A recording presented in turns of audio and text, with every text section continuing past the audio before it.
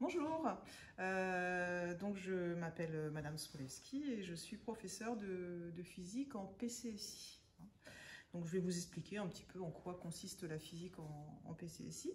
Donc déjà ce qu'il faut savoir c'est que la physique en PCSI bah, c'est la continuité de ce que vous avez fait euh, au lycée en approfondissant davantage tout ce que vous avez abordé. Donc euh, le programme de physique, il se répartit en globalement quatre thèmes. Donc deux premiers thèmes que vous avez déjà étudiés au lycée. Euh, le premier thème c'est euh, les signaux physiques. Donc là on va étudier la propagation des ondes, on va faire de l'optique géométrique. Donc en optique géométrique on va voir par exemple euh, l'étude de la propagation des signaux dans une fibre optique par exemple. On va voir le fonctionnement de l'œil, l'appareil photo, enfin voilà, des instruments d'optique assez complexes.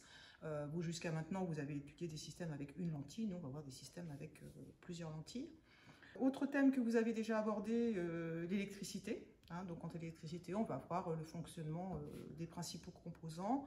Et puis, bah, ça va déboucher sur l'étude des filtres. Hein. comment filtrer un signal, comment dans une radio, on va pouvoir sélectionner une fréquence, par exemple. Euh, donc là, ce premier thème, ça va nous occuper à peu près trois mois. Hein. Donc vous voyez, quand on voit des, euh, des parties de, de, la physique, c'est toujours très très euh, très approfondi, très fouillé, beaucoup plus que ce que vous avez fait jusqu'à maintenant. Le deuxième thème, c'est la mécanique. Donc on va passer trois mois à faire de la mécanique. Hein. Donc on va commencer par le commencement, on va étudier les mouvements, comment paramétrer euh, l'espace pour pouvoir euh, décrire un mouvement. Et puis, bah, euh, petit à petit, on va étudier des, systèmes particuliers. ça va aller du mouvement des particules dans les champs électriques et magnétiques, où là, on va s'intéresser aux accélérateurs de particules, les études d'oscillateurs, et puis également l'interaction gravitationnelle que vous avez déjà abordée, que vous avez déjà abordé au lycée. Hein, donc là, mois. Donc une fois qu'on a fait euh, les signaux physiques, la mécanique, on est déjà rendu euh, au mois de mars. Hein. Et puis après, deux nouveaux thèmes que vous n'avez pas abordés au lycée, la thermodynamique. Donc la thermodynamique, euh, ça va consister à étudier dans un premier temps les gaz parfaits. Donc ça, ça doit vous dire quelque chose, les gaz parfaits.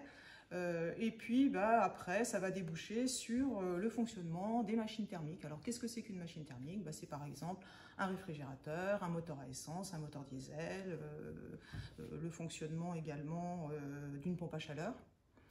Et puis en thermodynamique, on va faire aussi une autre partie qui s'appelle de la statique des fluides. Euh, on va étudier la pression, par exemple, dans l'atmosphère. Et là, on va expliquer pourquoi, euh, par exemple, une montgolfière arrive à voler. Et la dernière partie, ça s'appelle induction. Donc induction. Donc la, la thermo, c'est à peu près deux mois. Puis la dernière partie, induction, un mois. Donc l'induction, c'est assez intéressant parce que ça montre comment à partir d'un aimant, par exemple en faisant euh, bouger un aimant dans un circuit, eh bien, on arrive à générer un courant. Donc on va expliquer par exemple euh, euh, le principe des alternateurs, principe des dynamos de, vélo. Donc voilà, donc là les, grandes lignes du programme de physique. donc vous allez, après une première année de sup, pouvoir comprendre beaucoup de phénomènes qui nous entourent. Alors au-delà de ça, bah, vous allez acquérir une réelle méthode de travail, on va vous montrer beaucoup de méthodes de raisonnement qui vont vous permettre après euh, de comprendre euh, plein de choses.